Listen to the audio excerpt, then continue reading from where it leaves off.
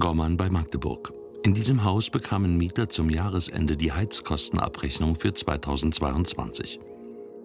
Viele können die geforderten Summen nicht bezahlen. Eine davon ist Gerda Arendt. Wir haben schon einmal über sie berichtet.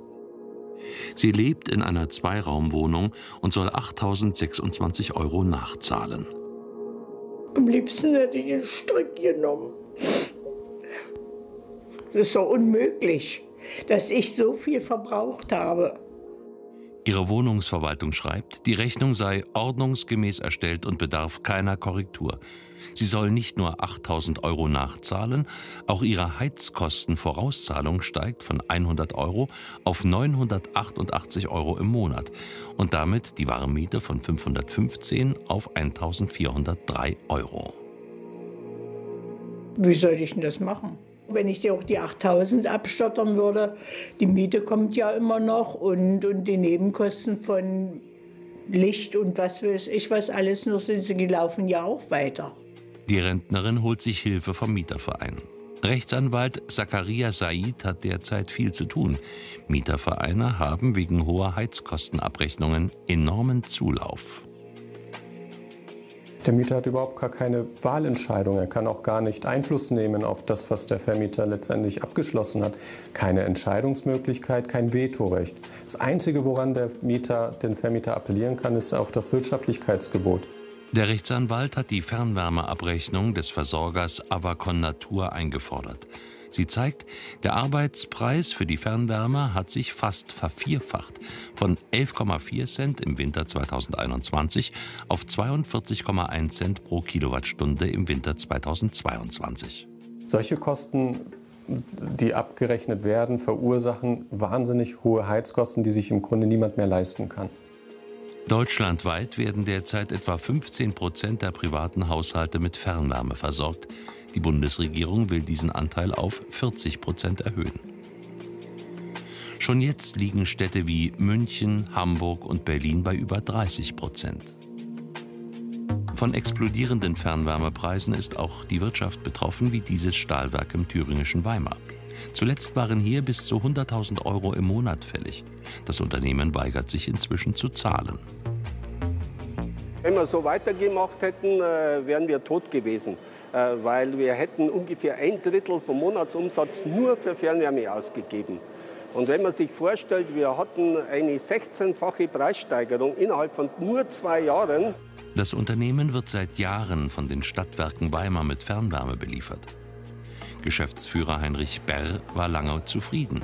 Dann stieg der Arbeitspreis von knapp 3,3 Cent im Winter 2020 auf knapp 52 Cent pro Kilowattstunde im Winter 2022. Ich denke, das ist ein historischer Höchstpreis in Deutschland und wir vermuten, dass es weltweit noch nie einen höheren Preis für eine Kilowattstunde gab. Die Stahlbauer hielten den Arbeitspreis für überteuert und zahlten deshalb nur einen Teilbetrag. Die Folge? Die Stadtwerke sperrten den Anschluss und verklagten die Stahlbauer auf die Zahlung der Außenstände von 50.000 Euro. Vater und Sohn müssen nun beweisen, dass der hohe Arbeitspreis von 52 Cent nicht gerechtfertigt war. Dabei mussten sie lernen, solche komplizierten Formeln zu verstehen.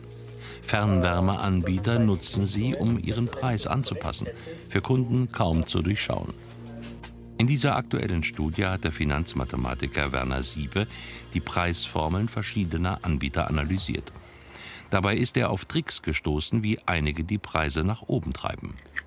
Durch die Preisformel äh, ist es möglich, äh, dass die tatsächlichen Preise, die von den Fernwärmeversorgern gezahlt werden, zum Beispiel für Erdgas, überhaupt nicht wiedergespiegelt werden. Und dass sie nicht wiedergespiegelt äh, werden, hängt vor allem mit äh, börsennotierten Indizes zusammen. Man nutzt äh, den Börsenwert für Erdgas, zum Beispiel von der äh, Gasbörse in Leipzig, um in Zeiten hoher Gaspreissteigerungen, wie wir das ja auch hatten, wie 2022, auch den Arbeitspreis für Fernwärme nach oben zu treiben. Und tatsächlich, auch in die Weimarer Preisformel floss so ein Börsenwert ein. Die Stadtwerke Weimar haben hier den absolut teuersten Index ausgewählt, der auf dem Markt äh, 0, nach dem Statistischen Bundesamt 0,1 Prozent, nicht einmal 0,1 Prozent ausmacht und komplett irrelevant ist, den setzt man hier ein, äh, um maximal viel von den Leuten berechnen zu können. Dass offenbar in Deutschland nicht alle Anbieter mit solchen Methoden arbeiten, zeigt auch ein Preisvergleich. So lagen im Oktober 2022 die günstigsten Anbieter für Privatkunden noch bei 3,7 Cent, während die teuersten zwischen 39 und 42 Cent pro Kilowattstunde verlangten. Der Preisunterschied zwischen dem günstigsten und teuersten lag somit bei mehr als 1000 Prozent. Auch 2023 gab es große Preisunterschiede. Zwischen dem günstigsten und teuersten lag dieser bei 418 Prozent. Allerdings hatte die Bundesregierung für Fernwärmekunden eine Preisbremse von 9,5 Cent eingeführt. Alles, was darüber lag, zahlte dann der Steuerzahler. Auch im ersten Quartal 2024 ist der Preisunterschied zwischen dem günstigsten mit etwa 4 Cent und dem teuersten mit mehr als 30 Cent hoch, konkret bei 609 Prozent. Wegen dieser Entwicklung hat das Bundeskartellamt hier in Bonn gegen sechs Anbieter, darunter auch Stadtwerke, Verfahren wegen des Verdachts überhöhter Preise eingeleitet. Ich würde mal sagen, so schnell wie möglich äh, müssen diese Verfahren geführt werden, äh, denn wir sehen teilweise ähm, ich will das mal exorbitante Preissteigerungen äh, nennen, äh, von denen äh, Bürgerinnen und Bürger in diesem Land betroffen sind, die gar nicht die Mittel haben, dem nachzukommen. Also mit anderen Worten, Sie können sich vorstellen, in so einem Fall sitzen wir da wirklich mit Hochdruck dran. Immer mehr Betroffene setzen sich in Interessengemeinschaften zur Wehr, wie hier im nordrhein-westfälischen Erkrath Hochdahl. Ihr Anbieter, der Konzern E.ON, hatte von 2020 bis 2022 den Arbeitspreis um ein Vielfaches erhöht. Einige unter ihnen haben mittlerweile ihre Zahlungen reduziert oder ganz eingestellt. Man fühlt sich sehr ohnmächtig, ja. Und deshalb äh, habe ich mich dem Herrn Pambau angeschlossen, weil ich alleine das nicht bewerkstelligen kann. Ja. Das Handicap ist ja leider, äh, dass Sie von einem Monopol äh, abhängig sind und dort keinerlei Einfluss drauf haben. So kann es nicht weitergehen. Es ist undurchschaubar, es ist unklar und keiner weiß, was letztendlich kostenmäßig passiert. Aktuell läuft eine Sammelklage des Bundesverbandes der Verbraucherzentralen, der sich Betroffene anschließen können. Die Verbraucherschützer haben zwei Anbieter, E.ON und Hansewerk Natur, verklagt. Wer sich unseren Klagen anschließen möchte, der muss sich beim Bundesamt für Justiz äh, in ein sogenanntes Klageregister eintragen.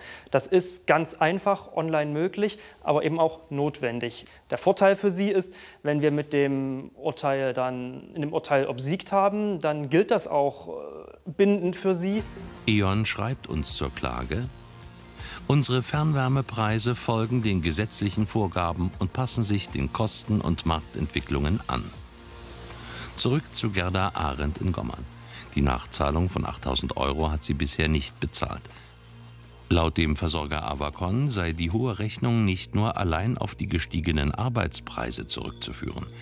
Das will der Mieterverein überprüfen. In Weimar versorgen sich die Stahlbauer mittlerweile selbst mit einer mobilen Ölheizung.